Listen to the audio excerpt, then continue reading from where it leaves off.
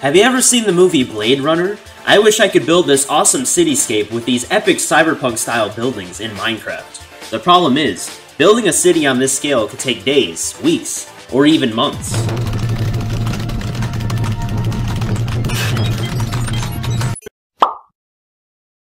Wow, looks like I'll be building this whole city in 5 minutes actually. Introducing the first version of my epic Minecraft build generator.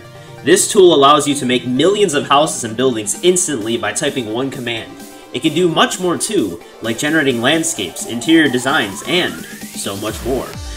And best of all, you can build your own styles and feed it into this tool, allowing you to instantly generate any type of building you can imagine. This tool is available for you to download in the video description and could potentially be the most powerful Minecraft building tool ever created.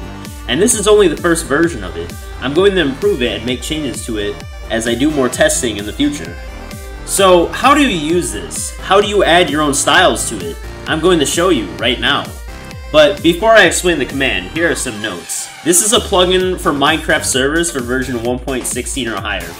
This can crash your server if you use really big numbers with some hilarious results, and can cause massive griefing with no undo feature like World Edit. So make sure you use this in the sky or in a flat land area where there's no valuable builds or anything you want to lose. The effectiveness of this tool is greatly increased if you have World Edit installed, as it allows you to copy and paste parts of what you generate into your actual building areas. If you don't know how to use World Edit, check out my World Edit tutorial. Finally, this tool will only work if you have NBT structure data in your world slash generated slash Minecraft slash structures folder. Normally you would have to create these yourself, However, in the description, I have a link with over 3,000 structure NBT files, built specifically for this tool, with basically every style of Minecraft building you could think of. Once you've downloaded them, drop them into this folder and restart your server. Now are ready to begin. We're going to start off by typing gen house. You'll be met with a potentially confusing command, but don't worry.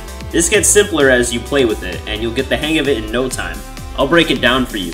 The command structure goes like this. You'll type gen house, then the first three numbers are size of the building, width, height, and length respectively. Second three numbers are part chaos, or density for width, height, and length. You got your bottom part library with part variations, second floor library with part variations, and roof library with the part variations.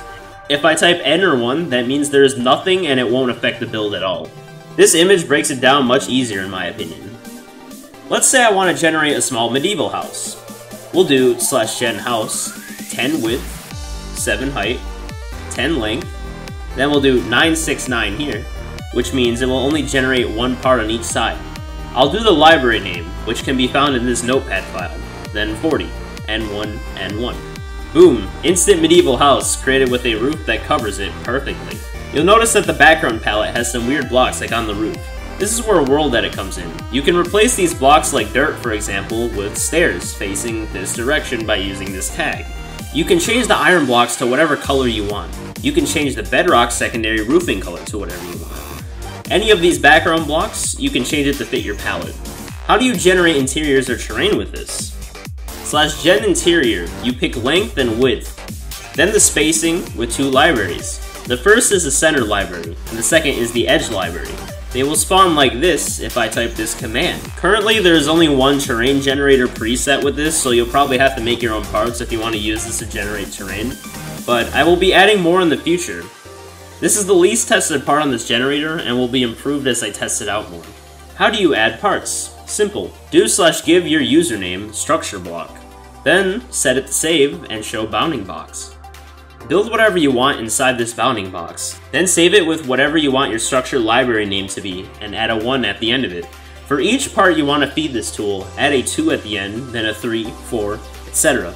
I recommend building at least 15 to get good variations. Make sure you build the parts facing east. And there you have it guys, a crazy build generator that will only improve over time. I might turn this into a full-blown AI in the future, so like and subscribe if you want to see more of this. And remember, you can download this in the description, and if you have any questions, join my Discord and ask me. Link is also in the description. Take it easy guys, and happy generating!